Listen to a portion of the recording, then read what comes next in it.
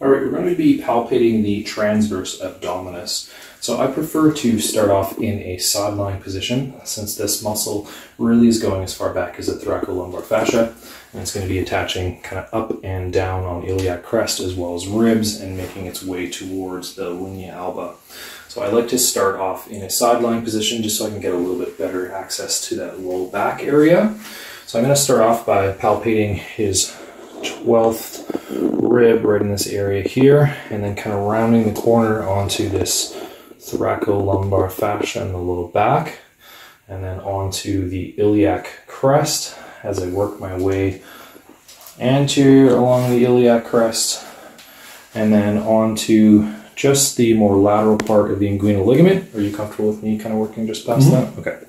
So I'm not going to go too far in this position. I will turn him into a supine position to kind of finish off that palpation, but there's a portion of it, and then I will round the other direction, counting up along kind of that lower costal cartilage and rib attachment as it goes from ribs 12, 11, 10, 9, 8, and 7, which means the xiphoid process. And it really is just along that inside edge of those ribs. So it doesn't go over top of the ribs, it stays right to kind of that internal almost aspect of it. So we have a broad origin here, and I'm going to ask my partner just to turn onto his back for me. So that muscle is coming from the posterior as it's working its way, and that's going to start to spread out as it goes along the iliac crest and the inguinal ligament and towards the pubic bone as well as towards the xiphoid. If you would be so kind as to reach across, you can create a border with your opposite hand, just turn across that pubic bone. Good. So I'm going to palpate down along the inguinal ligament and then get towards that linea alba.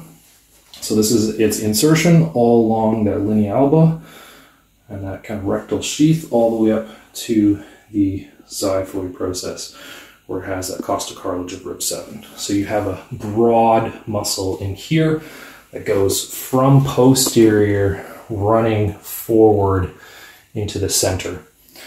So because its fiber direction is really transverse and both parts are equally grabbing, all it really does is pulls equally and then actually ends up compressing the abdominal contents flat if you're able to remove your hand away for us, just so we can kind of see that. And the idea here is that you're going to try to take your umbilicus or your belly button and try to suck it and tighten up your core towards your spine.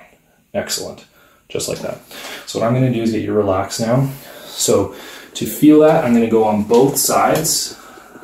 You can do this unilaterally or both sides. You're going to kind of squeeze in between the iliac crest and the ribs and then you're going to get them to do that action again. Pull their belly, excellent. And what you'll feel is that muscle almost wants to flatten and pull out in this direction here. So he's going to relax. So oftentimes people believe this is one of the really, really important core muscles, and that's people have difficulties engaging it. So this is something you really want to test to see if your person is able to engage their transverse abdominis.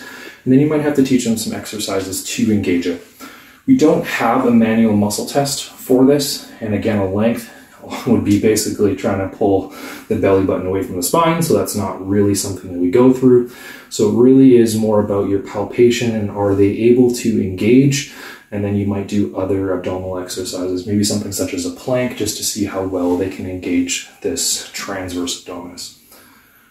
So let's get one more activation of this just to kind of see. So again, he's going to try to pull his belly button tight, tight, tight towards the spine.